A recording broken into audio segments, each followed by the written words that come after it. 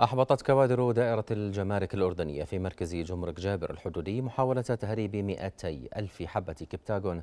كانت مخبأة داخل تجويف في مقدمة شاحنة فواكه تحمل لوحة أرقام أجنبية قادمة من إحدى الدول المجاورة. كما ضبطت الكوادر في ذات المركز كيلو جرامين ونصف من مادة كريستال المخدر مخبأة بطريقة متقنة. أسفل مساحات الزجاج الأمامي لمركبة عمومية قادمة من إحدى دول الجوار.